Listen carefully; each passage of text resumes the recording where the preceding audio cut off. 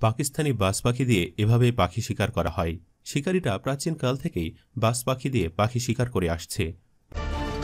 পাখি শিকারের জন্য শিকারীদের প্রথম পছন্দ ফসলের মাঠ। দূর দূরান্ত থেকে গাড়ি হাঁকিয়ে শিকারী পাখি ধরতে আসে এখানে। নির্দিষ্ট এলাকায় আসার পর বাস পাখিটি হাতের ওপর নিয়ে শিকারীর কাছাকাছি এসে বাস পাখিটি ছেড়ে দেওয়া হয়। এরপর মুহূর্তেই বাস পাখিটি শিকার ধরে ফেলে। প্রথম দেখায় মনে হতে পারে ফসল খেয়ে নেয় বা ফসলের জন্য ক্ষতিকর এমন পাখি ধরা হচ্ছে, প্রকৃত অর্থে তা কিন্তু নয়।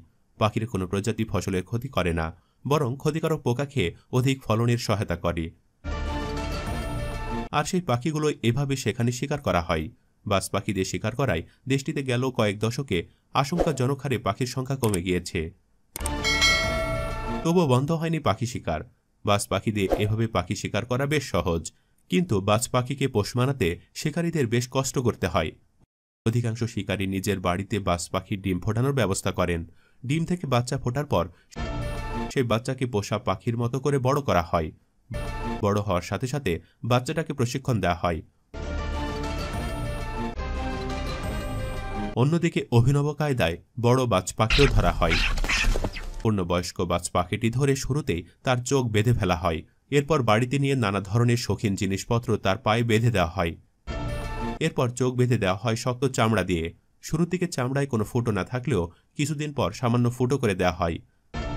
বাস পাখিটি এই ফুটো দিয়েই তখন কিছুটা দেখতে পায়।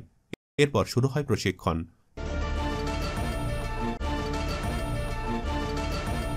প্রশিক্ষণ শেষে সাজিয়ে গুছিয়ে বাস পাখিটি তোলা হয় বাজারে।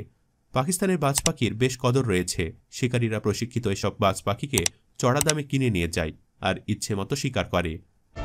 পাখি দিয়ে পাখি শিকার করতে সময় লাগে মাত্র কয়েক সেকেন্ড। এয়ারগানের গুলিতে লক্ষ্যবস্তু মিস হতে পারে, কিন্তু বাস পাখি দিয়ে পাখি শিকারে লক্ষ্যবস্তু মিস হওয়ার কোনো সুযোগ নেই। তাই বাস পাখি দিয়ে পাখি শিকার করার এই পদ্ধতি পাকিস্তানে যুগের পর যুগ ধরে চলে আসছে। তো বন্ধুরা, আজকের ভিডিও এ পর্যন্তই। ভিডিওটি আপনাদের ভালো লাগলে বন্ধুদের সাথে শেয়ার করতে ভুলবেন না।